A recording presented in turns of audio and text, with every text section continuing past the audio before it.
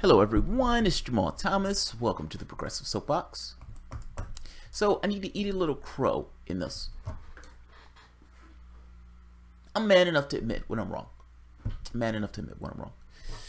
It seems that the UK government has actually found something else. And they've revealed to the public what they found to get across that it is indeed Russia. That Russia was responsible that Boris Johnson wasn't talking out his ass when he said Vladimir Putin was guilty, that Vladimir Putin did it. Boris Johnson was apparently absolutely right.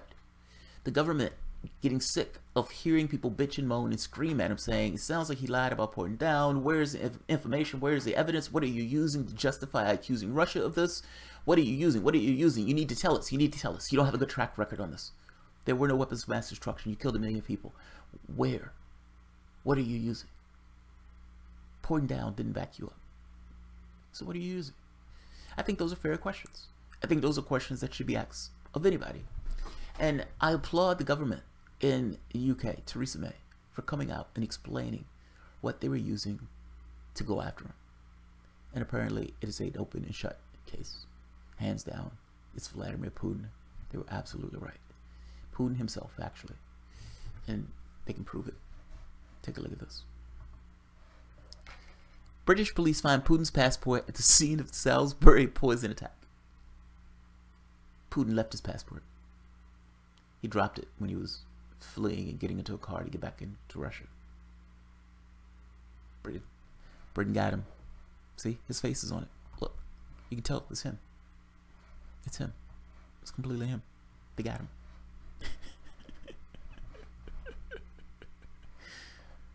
Salisbury Salisbury, I mean, oh, yeah, I'm sorry. Last doubts over Russia's guilt in poisoning former spy Sergei Skripal have been eliminated. As the British government announced today, the passport of Russian President Vladimir Putin was found at the scene in Salisbury. According to Prime Minister Theresa May, the passport was only now found in another search of the scene, as it had been hidden under a fallen leaf. Russia has 24 hours to extradite Vladimir Putin for questioning in London, according to a statement issued by the British government refusal will be taken as admission of guilt. Read the German version here. That looks like him. That looks like him. I don't know about you, but that looks like him. Apparently we were wrong.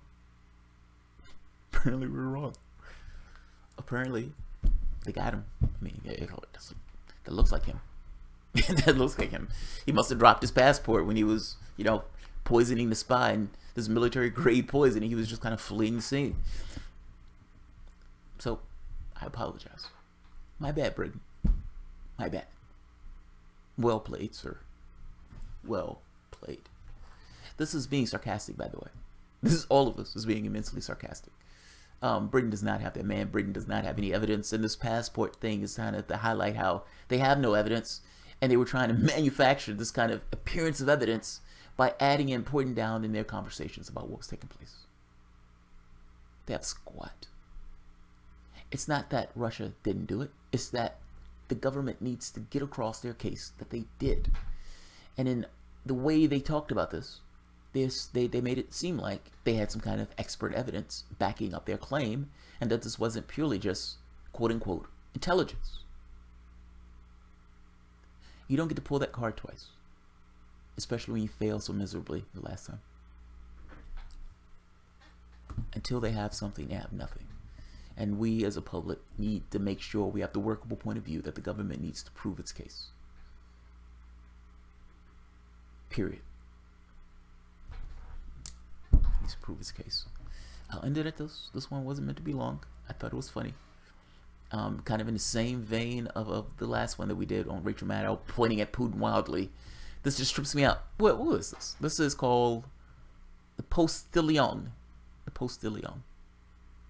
Yeah, postillon.com. I, I guess it's a joke site. So, not being serious again. All of this is sarcasm. I'm joking. Alright guys, so I'll end it at that. If you enjoy the content, please feel free to share, like, subscribe, and of course, as always, Patreon. Thanks guys.